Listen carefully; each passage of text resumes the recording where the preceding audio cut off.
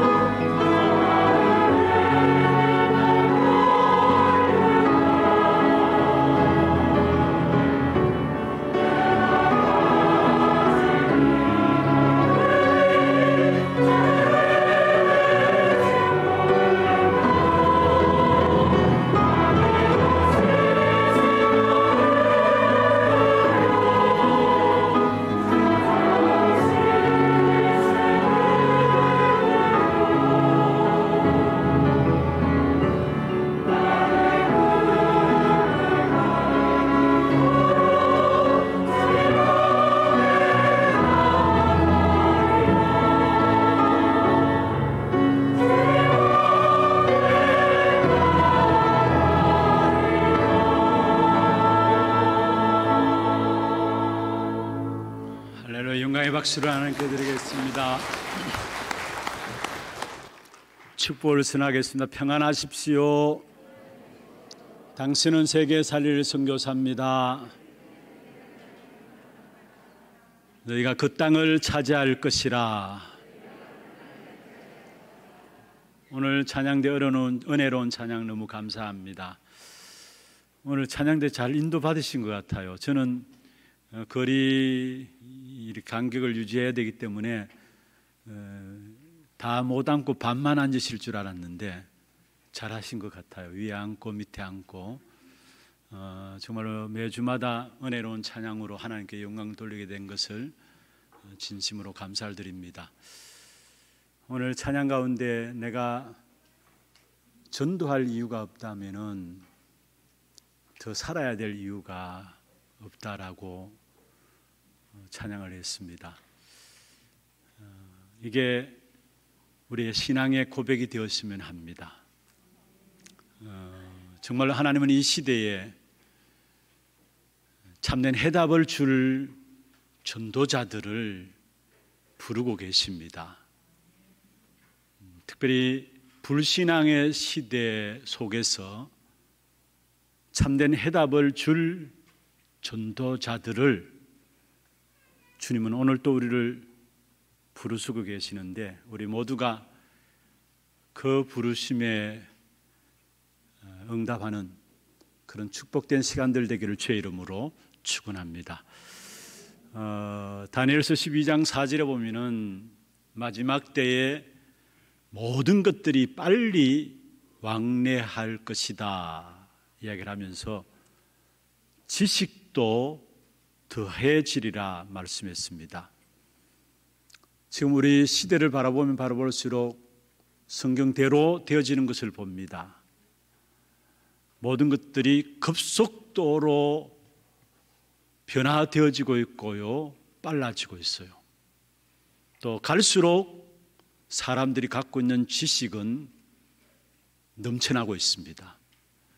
그런데 많은 지식들이 더해짐에도 불구하고 결국 우리 현장에 기본적으로 깔려 있는 부분들이 있다면은 불신앙입니다. 왜인 줄 아십니까? 그 지식이 하나님을 떠난 지식이기 때문에 결국은 하나님을 떠난 지식을 하면 할수록 그게 나오는 결과들은 불신앙인 것입니다. 어, 어저께 어떤 분과 말씀을 나누는 가운데서 그런 이야기를 하세요. 자기 자녀가 한 번은 기도를 부탁해 오더라는 거예요. 어, 전공 분야의 박사 과정에 공부를 하고 있는 친구인데 엄마 기도 좀 해주십시오라고 부탁을 해 오더라는 겁니다. 학문에 깊이 들어가면 들어갈수록 내 정체성을 잃어버리는 것 같습니다. 내 정체성을 잃어버리지 아니하도록 기도를 부탁드립니다. 제가 그 말을 들으면서 그럴 수 있겠구나. 하나님을 떠난 지식은 가지면 가질수록 결국은 거기서 나오는 것은 하나님을 믿지 않는 불신앙입니다. 그렇다면은 지금 지식이 더해지고 있다라면은 불신앙도 더해지고 있다라는 사실을 알아야 합니다. 그래서 그 불신앙의 시대에 오늘 제목을 참된 해답을 줄 전도자로 하나님이 저와 여러분을 부르신 것입니다. 어, 특별히 우리가 어떻게 앞으로 살아가야 될 것인가 어, 저와 여러분 많은 걱정들 하시죠. 또 앞으로 4차 산업혁명 시대가 된다고 하는데 우리가 어떻게 살아가야 될 것인가 실제로 지금 나오는 이야기들 들어보면은 나도 모르게 우울함 속에 빠질 수도 있습니다. 그러나 걱정할 필요가 없습니다. 구원받은 하나님을 믿는 하나님의 자녀들에게는 성경을 통해서 어떻게 살아가야 될 것인가에 대한 분명한 미래와 함께 거기에 대한 답을 하나님께서 주시게 되어 있다라는 것. 그것이 바로 성경 말씀을 통해서 우리에게 이루어질 미래와 함께 어떻게 살아가야 될 것인가에 대한 분명한 답들을 하나님 우리에게 주시고 있는 것입니다. 그래서 성경 고린도전서 10장 11절에 보면은 이 성경을 우리에게 본보기로 깨우치게 하기 위해서 주셨다 말씀하고 있죠. 베드로후서 2장 6절에 보면은 본으로 삼도록 우리에게 주셨다 말씀하고 있습니다. 다시 말하면은 우리의 모습을 비춰볼 수 있도록 주신 것이 성경의 말씀입니다. 어, 특히 오늘 본문에 보면은 사두개인과 바리새인과 헤롯 당원들이 나옵니다. 그런데 이 세 사람의 분류들의 특징이 있다면은 사실은 하나님께서 가장 귀하게 말씀하는 생명의 비밀을 모르는 사람들이었고요. 이 땅에 살아가는 동안에 우리에게 가장 필요한 이 생명의 비밀을 모르는 사람들이 사두개인과 바리새인과 헤롯 당원들이었습니다. 그리고 잘 믿는다고 하는데 나름 똑똑하다고 하는데 시대를 살릴 수 있는 비밀을 전혀 모르고 있는 사람들이 바로 오늘 본문에 나오는 사두개인과 바리새인과 헤롯 당원들이었습니다. 우리에게 가장 중요한 생명의 비밀을 모르니까 성경을 갖고 있으면서도 잘 믿는다고 하면서도 결국 악한 사탄의 도구가 되어질 수밖에 없는 것이죠. 이런 악한 사단이 내가 사탄이다 하면서 형상을 가지고 불의 모습으로 우리 앞에 나타난다면은 그 어느 누구도 속지 않을 겁니다. 그런데 악한 사탄이 우리에게 좋은 것으로 그럴듯한 것으로 가장해서 우리에게 파고들고 있습니다. 그래서 그 뒷면에는 결국 인간을 멸망시키는 것인데 생명에 대한 비밀들을 모르니까 이 사단의 전략들을 알 수가 없는 것이죠. 그런데 후서 11장 14절에 보면은 악한 사단이 강명의 천사로 가장해서 우리를 속인다 말씀하고 있습니다. 무슨 말입니까? 좋은 것을 주시면서, 좋은 것을 주면서, 그럴듯한 것들을 주면서 그 뒷면에는 결국은 우리를 속이고 멸망시키는 역할을 하는 것이 바로 사단의 존재인 것을 이야기하고 있습니다. 그런데 오늘 본문에 나오는 이 사두개인과 바리새인과 헤롯 당원들은 나름 잘 믿는다고 하면서도 가장 중요한 생명의 비밀을 놓쳐버렸기 때문에 악한 사단이 그들을 이용해서 공격해 온 사실들을 보게 됩니다. 그래서 오늘 우리가 이 본문을 통해서 그렇다면은 우리가 해야 할 것이 무엇일까라는 부분에 답을 얻을 수 있어야 하는 것입니다. 먼저는요, 날마다 저와 여러분은 하나님의 은혜와 믿음으로 살아가야 될 구별된 하나님의 백성입니다. 날마다 하나님의 은혜 속에서 들어가야 된다는 말입니다. 왜 우리가 날마다 하나님 주시는 은혜 속에서 들어가야 하느냐? 그 이유들을 살펴보면 이미 성경에서 말씀하고 있습니다. 마지막 때에 디모데후서 3장에 보면은 말세 고통하는 때가 온다 이야기했습니다. 그리고 그 고통의 원인도 거기에 대한 해결책도 디모데후서 3장 14절부터 17절에 또 4장 1절에서 4절에 보면 계속해서 말씀하고 있습니다. 그리고 마지막 때 마태복음 24장 9절에 보면은 많은 환란들이 일어나게 될 것이다라고 이야기를 했습니다. 그때 사람들이 너희를 환란에 넘겨 주겠고 너희를 죽이리니 너희가 내 이름 때문에 모든 민족에게 미움을 받으리라. 마지막 때 일어날 환란에 대한 부분들을 이야기를 하고 있습니다. 그래서 계시록에 보면은 모든 문제의 근본이 되어지는 영적인 세계, 그 영적인 세계에 대혼란들이 일어날 것을 이야기하고 있으면서요. 결국은 영적인 전쟁이 일어나게 될 것이다. 그러면서 교회가 무너지고 교회 다니는 성도들의 믿음조차도 결국은 떨어지게 될 것을 계시록에 말씀하고 있고 그런데 지금 그 시대를 저와 여러분이 살아가고 있는 겁니다.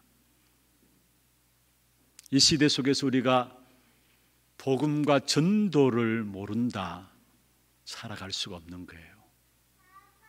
특히 4차 산업혁명 시대 하루가 다르게 많은 부분들 속에서 급격하게 변화되게 되어 있습니다.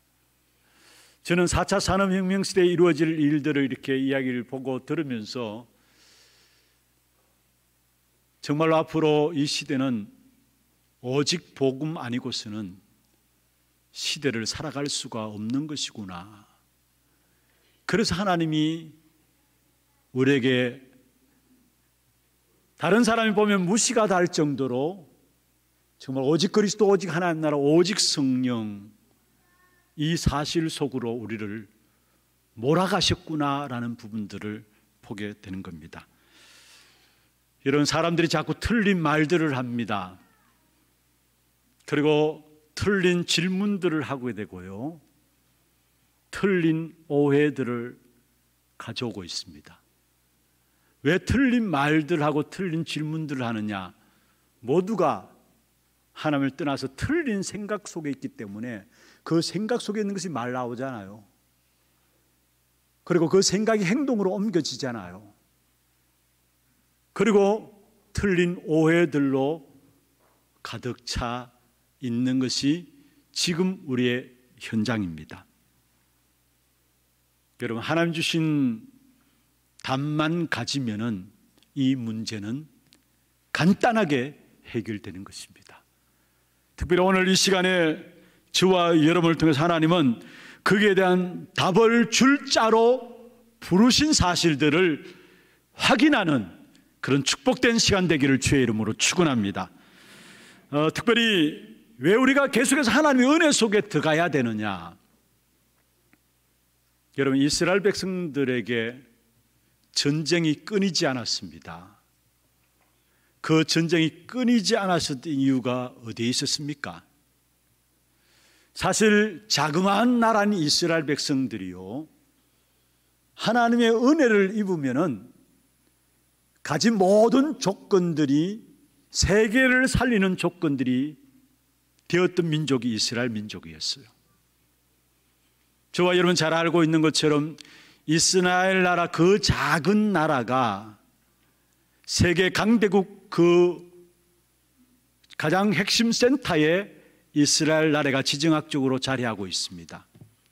주위에 이집트와 바벨론, 아수르, 아람, 블레셋, 사마리아 등으로 둘러싸여 있는 나라가 이스라엘 나라입니다. 그런데 여러분 우리가 잘 알고 있는 것처럼 다윗 때는 하나님의 축복을 받으니까 그게 솔로몬 때까지 계속되어지고요. 그 솔로몬 때까지는 그 작은 나라가 전 세계를 살리는 역사가 일어났습니다. 하나님이 은혜를 받으니까. 민수기 13장 33절에 보면은 가데스 바네아에서 정탐꾼들이 보내지게 되죠. 그 정탐꾼이 돌아와서 보고한 내용들이 10명의 정탐꾼의 보고는 하나님의 은혜를 받지 못하니까 뭐라고 고백했습니까? 우리는 그들이 보기에 스스로 메뚜기 같더이다 이야기를 했어요. 그러나 민수기 14장 9절에 보면은 하나님의 은혜를 본 두 명의 정탐꾼의 고백은 달랐습니다. 그 땅 백성을 두려워하지 말라. 하나님은 우리와 함께 하신다. 그들은 우리의 답이다. 말씀했습니다. 무슨 말입니까? 정말로 그리스도로 말하면 구원받은 저와 여러분이 한 날 한순간 시간 시간들마다 하나님의 은혜 속에 들어가야 된다라는 사실을 말씀하고 있는 것입니다.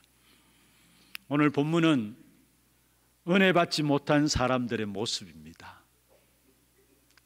바리새인들 마태복음 5장 20절에 보면은 바리새인들은 나름대로 철저히 성경대로 살아가려고 몸부림쳤던 사람들 중에 한 사람이 바로 바리새인들입니다. 그리고 대단히 애국 한다고 생각했던 사람들이고요. 어떻든 열심히 잘 믿어서 하나님께 가장 좋은 것들을 드린다고 생각했던 사람들이 바로 바리새인들입니다. 그런데 우리가 잘 알고 있는 것처럼 이 바리새인들은 예수님을 대적하는 자리에 섰습니다. 하나님을 잘 믿는다고 하는 사람들인데 둘째 가라면 서러울 정도로 하나님을 잘 믿는 잘 믿는다고 하는 사람들인데 그들은 예수님을 대적했습니다. 그래서 마태복음 3장 7절에 보면은 세례 요한이 바리새인과 사두개인들을 향해서 이 독사의 새끼들아 이야기했어요. 바리새인과 이 사두개인들이 자기에게 나오는 모습을 보면서 세례 요한이 이 독사의 새끼들아 이야기했습니다. 예수님조차도 마태복음 23장 33절에 보면은 하 있을진적 뱀들아 독사의 자식들아 말씀하고 있는 것을 보게 됩니다. 어떻게 하나님을 잘 섬긴다고 하는 사람들이 이렇게 하나님의 저주를 받았습니까? 여러분 그들에게는 가장 중요한 하나님이 가장 중요하게 보시는 생명을 놓쳤기 때문에 그런 것입니다. 요한복음 20장 31절에 말씀하고 있습니다. 왜 하나님께서 우리에게 이 성경을 주셨습니까? 이 성경을 우리에게 주신 이유에 대해서 말씀하고 있는데 이 성경을 주신 이유는 뭐냐? 예수께서 하나님의 아들 그리스도이심을 믿게 하기 위함이고 그 이름을 힘입어서 뭐요? 생명을 얻게 하기 위함이라 했습니다. 바리새인들은 성경을 가지고 있어요. 그럼에도 불구하고 성경 기록한 목적인 생명을 얻게 하기 위한 이 사실을 모르는 겁니다. 그러니까 오히려 생명 되시는 예수님을 대적하는 자리에 섰던 것입니다. 또 한 부류가 나오는데요. 사두개인들입니다. 이 사두개인들은 영혼에 대해서 하나님의 성령에 대해서 천사들의 존재에 대해서 사단의 존재에 대해서 천국 내세에 대한 부분들을 인정하지 않는 지극히 현실주의자들입니다. 한마디로 말하면 눈에 보이지 않는 것들을 믿지 않는 영적인 세계를 믿지 않는 사람들이 바로 사도개인들입니다. 그런데 여러분 하나님의 말씀은 영적인 부분들을 더 강조하고 있잖아요. 우리에게 있어서 영혼이 중요한 것이고 그렇잖아요. 하나님도 눈에 안 보이고 악한 사단도 눈에 안 보입니다. 천국도 내세도 있음에도 불구하고 이 사실을 안 보인다고 안 믿는 것 가장 중요한 부분들을 사두개인들은 놓치고 있는 것이죠. 어, 사실은 여러분 이 사두 개인들조차도 결국은 예수님을 대적하는 일에 앞장섰던 부분들을 보게 됩니다. 또 한 부류가 나오는데 그게 바로 헤롯 당원들이에요. 이 헤롯 당원들은 그 당시에 유대인들 이스라엘이 로마에 속국돼 있잖아요. 그 로마에 속국돼 있는 상황 속에서 친로마 지지하는 정치적인 그룹이 헤롯 당원들입니다. 그런데 가만히 보면은 이 바리새인들과 사두개인들과 서기관들이 예수님을 대적하는 일에 있어서는 하나가 되었어요. 이게 세상 일입니다. 이게 누구의 장난이에요? 악한 사단의 역사죠. 나름대로 뭔가 하나님을 섬긴다고 하는 사람들이 복음 막는 일에는 하나가 되어 있어요. 이게 세상의 원리입니다. 그래서 결국은 바리새인과 석인가 어, 저 사두개인들과 헤롯 당원들이 예수님을 십자가에 못 박으라 하면서 결국 십자가에 못 박았잖아요. 죽는 데까지 내려준, 내어준 겁니다. 어, 특별히 성경에 말씀하고 있습니다. 예수님께서 사람들이 나를 누구라 하느냐. 그때 마태복음 16장 14절에 보면은 어떤 사람은 세례요한, 어떤 사람은 엘리야, 어떤 사람은 예레미야, 어떤 사람은 선지자 중에 하나라 하나이다. 이렇게 세례요한, 엘리야, 예레미야, 선지자 중에 하나로 알고 있는 사람들의 특징이 있습니다. 예수님께서 마태원 11장 28절에 수고하고 무거운 짐진 자들아 다 내게로 하라 내게로 오라 이 말씀은 물론 우리 모두를 위한 말씀입니다만은 그 당시에 여러분 예수님이 세례 요한으로 예레미야로 엘리야나 선지자 중에 한 사람으로 온 그렇게 믿고 있는 사람들에게 하신 말씀 바리새인과 사두개인들에게 한 말씀입니다. 그 수고하고 무거운 짐을 다 내려놓고 내게로 오라. 다시 말해서 너희들이 나를 정말 믿고 생명을 얻으라는 겁니다. 그러면 너희가 그 수고한 무거운 짐이 벗겨질 것이고 오히려 쉽고 가볍고 축복된 일들이 주어질 것이다 말씀하고 있는 것입니다. 지금 많은 사람들이 여러분 신앙생활 한다고 하면서도 어떤 면에서 바리새인들처럼 신앙생활하고 있고요. 사두개인들처럼 신앙생활하고 있어요.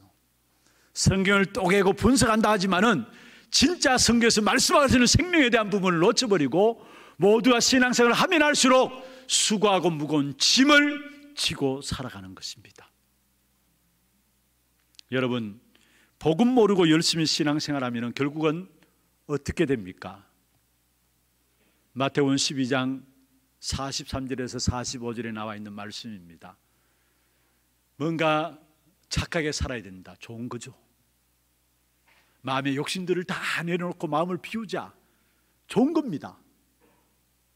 그리고 뭘 합니까? 어떻게 하든지 간에 우리가 정말로 욕심들을 다 내어버려야 된다. 여러분, 불교에서 말하는 해탈, 다 그런 것들 아닙니까? 108 번뇌가 있는데 그 108, 108가지의 번뇌들을 다 내려놓으면 해탈의 경지에 들어간다는 거예요. 그래서 108번뇌 하고 하잖아요. 108배 하고 하잖아요. 해탈의 경지에 들어간다는 나를 비운다라는 거예요. 여러분 3단체가 가장 중심에 갖고 있는 명상 운동 결국 내 자신의 모든 욕심들을 다 내려놓는다라는 거예요. 여러분 그래서 악신의 충만함으로 빠지게 되는 겁니다. 우리는 내 자신을 비우는 게 아닙니다. 내가 그리스도와 함께 십자가에 못 박혔나니 그러나 이제는 내가 산 것 아니요 내 안에 누가 산다고요? 그리스도께서 사시는 것이라 했어요. 내 자신을 비우는 것이 아니라 우리는 그리스도로 채워져야 되는 거예요. 이것을 모르니까 열심히 신앙생활 한다고 하는데 결국은 가면 갈수록 더욱더 악한 사단의 역사에 충만하게 잡혀지는 겁니다. 그래서 바리새인들이 종교 생활 열심히 해서 그들이 사단에 충만하니까 어떤 결과를 가져왔습니까? 예수님이 십자가에 못 박게 될 그 상황 속에서 마태복음 27장 24절 25절에 보면은 중요한 이야기를 했습니다. 그 핏값을 우리와 우리 후대에게 돌릴지어다. 악한 사단의 충만한 가운데 고백한 이야기입니다. 바리새인들이 그의 핏값을 우리와 우리 후대에게 돌릴지어다. 역사 속에 여러분 유대인들처럼 가장 고통의 현장에서 고난당한 민족이 없었 다는 사실을 우리가 알게 됩니다. 왜 그렇습니까? 결국 종교 생활 열심히 하고 사단 충만하게 되니까 그 고백대로 그 핏값을 받은 겁니다. 여러분 그렇다면 우리는 어떻게 해야 합니까? 오늘 또 우리는 그리스도 안에 있는 생명 속에 들어가야 합니다. 그리스도 안에 있는 은혜 속에 들어가야 합니다. 날마다 그리스도 은혜로 시작하고 은혜 속에 들어가야 합니다. 오늘 이 자리에 참석한 여러분 모두가 매 순간순간마다 하나님의 은혜 속에 들어가는 그런 축복이 있기를 주의 이름으로 축원합니다. 두 번째입니다. 그렇다면 중요하고 확실한 답을 가진 복음의 증인으로 세워져야 될 겁니다. 요한일서 4장 5절 6절에 보면은 두 가지 영에 대한 부분이 나옵니다. 진리의 영이 나오고 미혹의 영이 나옵니다. 그런데 우리가 두 가지 영 중에 어디에 소속되어져 있느냐 따라서 결국은 마귀가 주는 혼란함과 틀린 생각들이 악한 사단의 말 우리 안에 자꾸 쌓이게 돼요.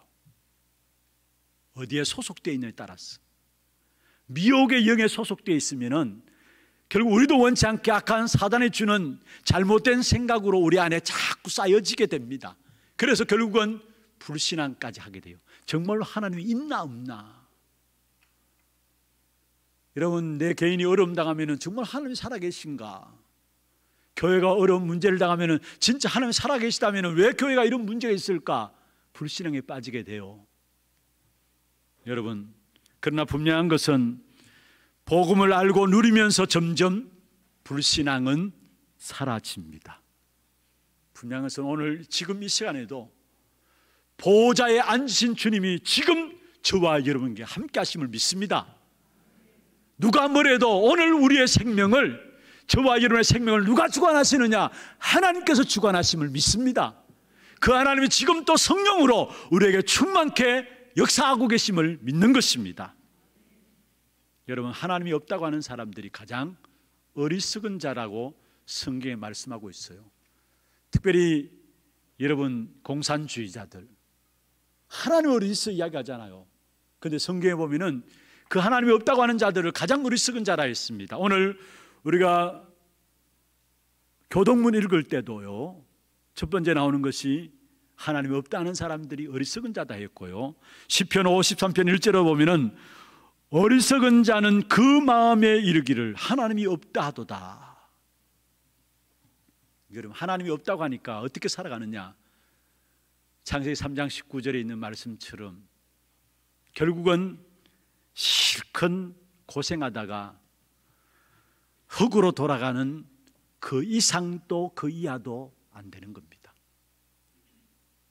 그리고 이 땅에 살아가는 동안에 시큰 고생하다 흙으로 돌아가는 그 이상도 그 이하도 안 될 뿐만 아니라 에베소 2장 2절 3절에 있는 말씀처럼 세상 풍속을 쫓아가요. 세상의 흐름들 있잖아요. 점하고 굿하고 사주팔자 운명 따라가는 그대로 따라가고요. 그리고 공중에 건세 잡은 자기도 알지 못하는데 알고 보면은 공중에 건세 잡은 자가 그를 붙잡고 있어요.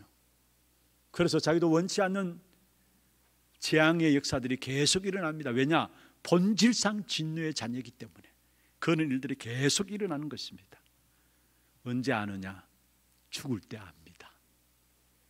죽고 난 뒤에 또 압니다. 여러분, 하나님 진짜 살아 계시는 것이 늘 믿어지고 누려지는 사람은요, 분명히 역사와 응답이 달라지게 돼 있어요. 문제가 있는데도 그 문제 속에서 하나님의 살아계심이 늘 믿어지고 누려지는 사람은 그 문제 속에서도 승리하게 되어 있는 것입니다. 시편 23편 4절에 보면 다윗의 고백이죠. 내가 사망의 엄침한 골짜기로 다닐지라도 해를 두려워하지 않는다 했어요. 이런 사망의 엄침한 골짜기가 다윗이 지금 자기 주어진 상황입니다. 그런데 해를 두려워하지 않는다 했습니다. 왜냐? 그 사망의 엄침한 골짜기는 다윗은 어떻게 보여졌느냐? 주의 지팡이로 보여졌고 주께서 자기를 안위하시는 역사로 보여진 겁니다. 하나님 함께 하시는 사실을 믿고 누리게 되면은 응답과 역사가 달라지고요. 문제에서도 승리하게 된다는 사실을 우리에게 보여주고 있는 것입니다. 그러면서도 사두개인들이 믿지 않았던 내세, 여러분 과연 내세가 있는 것입니까? 근데 성경에서는 누가복음 16장 19절에 31절에 보면은 부자와 거지 나사로에 대한 이야기가 나오죠. 이미 천국과 지옥이 있다라는 것을 전제하고 우리에게 말씀하시는 부분들입니다. 그래서 계시록 21장 1절에서 5절에 보면은 우리에게 새 하늘과 새 땅이 준비되어 있다고 말씀했어요. 예수님께서도 요한복음 14장 2절 3절에 보면은 내가 너희를 위해서 천국을 예비하러 간다 했어요. 그리고 천국을 예비하려면 내가 다시 와서 너희를 나 있는 곳에 데려가리라 했습니다. 분명히 하나님의 말씀에 천국과 지옥 내세가 있다라는 사실을 우리에게 말씀하고 있는 것입니다. 중요한 것은 우리가 그리스도로 말미암아 구원받고 내 안에서 하나님의 일을 시작하신 그분이 저와 여러분을 그리스도의 날까지 이루실 겁니다. 빌립보 1장 6절에 너희 속에 착한 일을 시작하시니가 그리스도 예수의 날까지 이루신다 했어요. 우리에게 구원을 주신 그 하나님은 그리스도의 날까지 주의 택한 백성들을 지키시고 보호해 나가시는 것입니다. 반대로 내세를 믿지 않는 사람, 다시 말해 하나님의 살아계심을 믿지 않는 사람은 그 결과는 비참하게 망하게 되는 것입니다. 아무리 잘 사는 것처럼 보여도요, 모든 것들을 행한 후에 망합니다. 그게 하나님을 믿지 않는 사람의 특징이에요. 에베소 6장 13절에 말씀하고 있죠. 우리에게 모든 일을 행한 후에 서기 위함이라 말씀하셨는데 믿지 않는 사람은 믿는 사람은 모든 일을 행한 후에도 서게 되고요. 믿지 않는 사람은 모든 일을 행한 후에 망하게 되는 것이 믿지 않는 사람들입니다. 그래서 하나님 믿지 않는 사람들이 이 땅에 살아오는 동안에 여러분 점장이 찾아가고요. 우상 숭배하고요. 제사 지내고 하는 거잖아요. 그렇다면은 그것이 믿지 않는 사람의 삶의 모습이라면은 오늘 우리에게 주신 하나님 주신 최고의 축복이 있다면 무엇입니까? 우리의 학교 현장에, 우리의 사업 현장에, 우리의 가정 현장에 하나님 주신 최고의 축복, 가장 귀중한 응답이 있다면, 우리에게 가장 필요한 것이 있다면, 하나님이 우리와 함께 하시는 것입니다. 이사야 7장 14절에 보라 처녀가 잉태하여 아들을 낳으리니 그 이름을 임마누엘이라 하리라. 여러분 하나님이 함께 하신 축복을 누리면요. 중요한 일을 생길 때마다 주님이 나와 함께 하십니다. 나에게 성령으로 충만케 하옵소서. 내게는 주밖에 복이 없습니다. 고백하게 돼 있어요. 오히려 큰 문제를 당하면 당할수록 오직 주님만이 나의 참된 복입니다. 주밖에 나의 복이 없나이다. 내게 힘을 주실 분은 오직 주님이십니다. 고백하게 돼 있습니다. 왜냐? 주님이 함께 하시는 사실들이 그 문제 속에서 체험되고 맛을 보았기 때문입니다. 여러분, 오늘 본문에 보면은 읽지 않은 부분들 또 읽은 부분 어, 특별히 오늘 읽은 부분에 대한 부분은 사두 개인들에 대한 부분들이 나오는데요. 부활의 논쟁에 대해서 예수님 앞에 시험을 걸어왔죠. 사두개인들은 제가 말씀드렸던 것처럼 내세를 안 믿는 사람들입니다. 그래서 당연히 부활을 안 믿는 사람들입니다. 그런데 성경을 가지면서도 성경을 쪼개고 분석하면서도 가장 중요한 영적인 어마어마한 축복인 부활에 대해서 믿지 않으니까 그들이 부활에 대해서 예수님이 어떤 생각을 가지고 있느냐 결국은 시험에 빠뜨리려고 문제를 논쟁을 가지고 온 겁니다. 성경을 가지고 그것도 이야기를 한 겁니다. 그런데 결국 그들이 성경을 믿는 것이 아니라 자신의 경험과 지성을 가지고 오해한 것이죠. 그게 사도개인들이었어요. 자신의 경험과 지성을 가지고 오해를 한 겁니다. 그때 예수님께서 29절에 보면은 너희가 성경도 하나님의 능력도 알지 못하는 고로 오해하였도다. 사도개인들에 대한 지적이에요. 여러분 그렇습니다. 우리가 복음을 모르면요, 우리도 모르게 한다고 하는 말들이 자꾸 헛된 말을 해요. 여러분 정말로 생명에 대해서 복음의 비밀을 모르면은 아예 말하지 마세요. 열심히 말한다고 하는 것이 헛된 말을 해요. 성경에 보면은 디모데전서 1장 7절에 보면은 자기가 말하는 것이나 자기가 확증하는 것도 깨닫지 못한다 했어요. 복음 모르면은 열심히 말을 하는데 자기가 무엇을 말하는지도 모르고요. 확증하는 것도 깨닫지 못한다 했어요. 그게 끝나는 게 아닙니다. 복음을 보면요. 자기 하는 말도 깨닫지 못할 뿐만 아니라 디모데후서 3장 13절에 보면은 쏟기도 하고요. 속이기도 합니다. 그 말로서. 그리고 디모데후서 4장 3절 4절에 보면은 결국 바른 교훈을 받지 아니하고 허탄한 이야기를 쫓게 됩니다. 복음을 모르면 그렇게 돼요. 그래서 이런 복음 모르면은 말 안 하는 것이 좋아요. 아무리 옳은 말이라도 복음 모르면은 말 안 하는 것이 좋아요.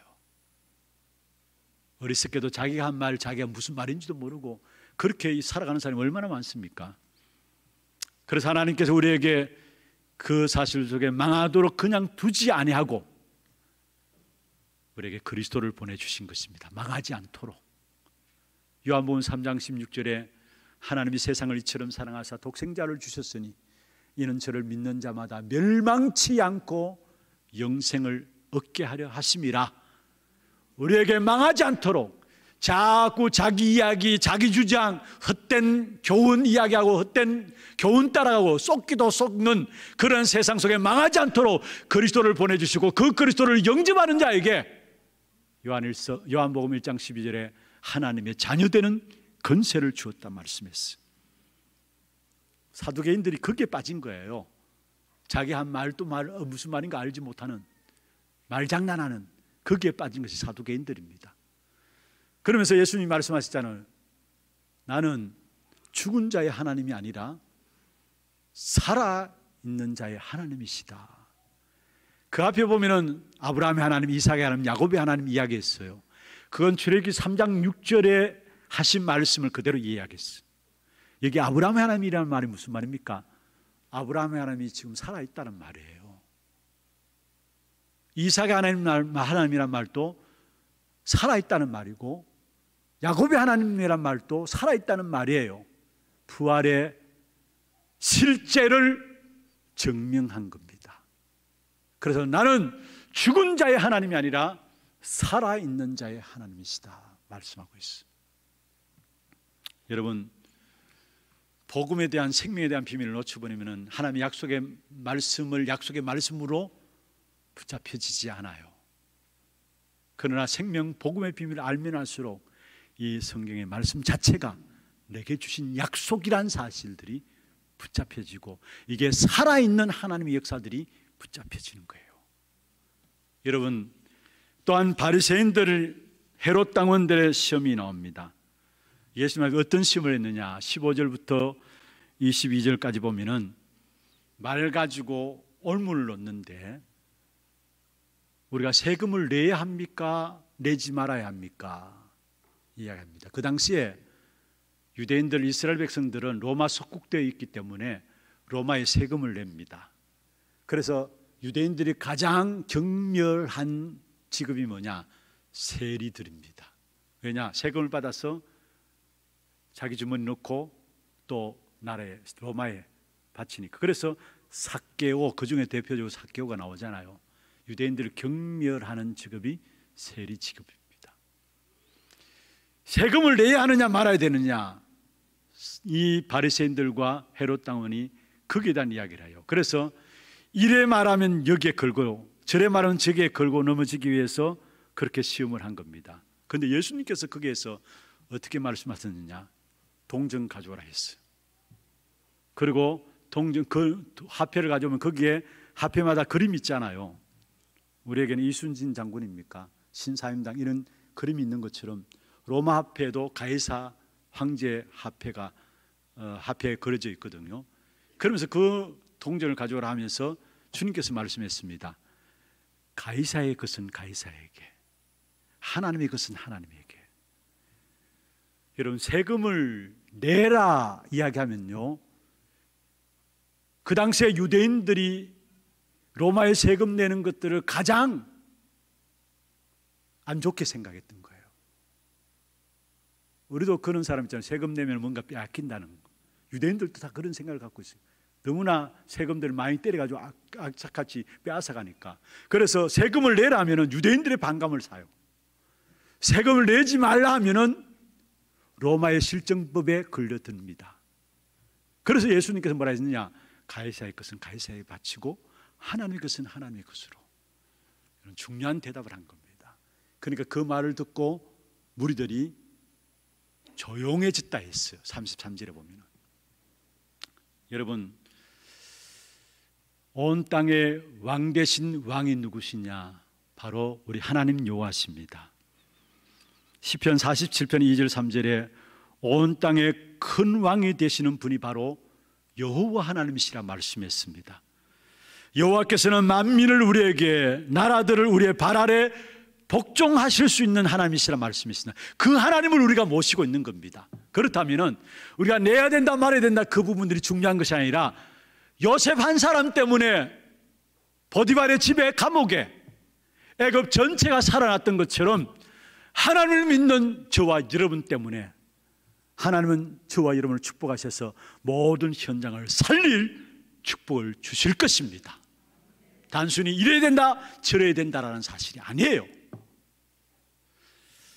말씀을 마무리하겠습니다. 오늘 본문 읽지 않은 22절에 보면 그들이 이 말씀을 듣고 놀랍게 여겨 예수를 떠나니라. 33절에 보면 무리가 듣고 그의 가르치심에 놀라더라. 무슨 말입니까? 우리 주님의 말씀 한마디에 모든 생각들이 할 말들이 없어진 겁니다. 하나님이 함께 하시는 확실한 증거와 은혜를 붙잡고 나가시기를 바랍니다. 매일 하루를 시작할 때에 우리의 모든 현장에서 하나님이 함께 하시는 임마누엘의 역사를 사실적으로 체험하고 나갈 때에 그 속에서 모든 것들이 다 정리가 되게 돼 있어요.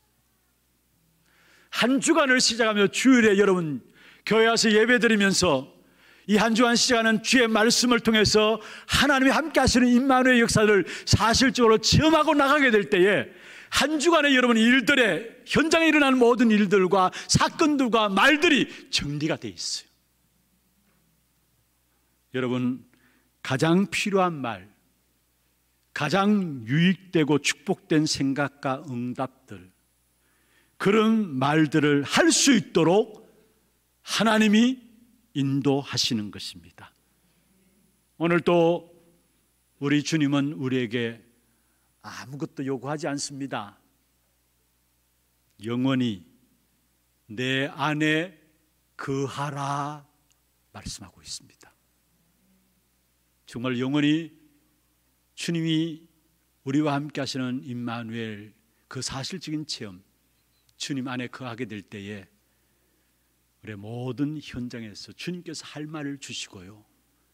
하나님을 대적하여 높아진 모든 이론 그 모든 것들이 그리스도 앞에 복종케 된다라고 고린도후서 10장 4절 5절에 말씀하고 있는 것입니다. 이번 한 주간 아니 우리 평생에 붙잡으십시다. 영원히 내 안에 거하라. 그 사실 가지고 현장에서 하나님이 정리해 주시는 사실을 맛보고 그 땅을 차지하는 전도자들로 세워지기를 주의 이름으로 축원합니다. 하나님 감사합니다. 불신앙 시대에 참된 해답을 줄 전도자들로 우리를 부르심을 감사합니다. 날마다 주님께서 우리에게 함께 하고자 원하시는 그 임마누엘의 사실들이 날마다 체험되지게 하시고 매 주간마다 체험되어지므로 모든 현장을 바르게 보고 바르게 판단하고 그 속에 그 땅을 차지하는 이 한 해가 될 수 있도록 축복해 주옵소서. 살아계신 주 예수 그리스도 이름으로 감사하며 기도드리옵나이다. 아멘. 지금은 우리 인생의 모든 문제를 해결하신 우리 구주 예수 그리스도의 은혜와 하나님 아버지의 말로 닿을 수 없는 사랑하심과 성령님의 역사하심이 참된 해답을 줄 전도자로 임마누엘의 사실적인 체험 속에서 이한 시대의 불신앙을 끊고 승리하기를 원하는 사랑하는 제 백성들 머리 위에 이들의 가정과 산업과 자녀 손들을 위해 모든 선교지와 지교회와 온라인으로 예배되는 모든 현장과 몸된 교회 위에 지금부터 영원토록 항상 함께 있을지어다. 아멘.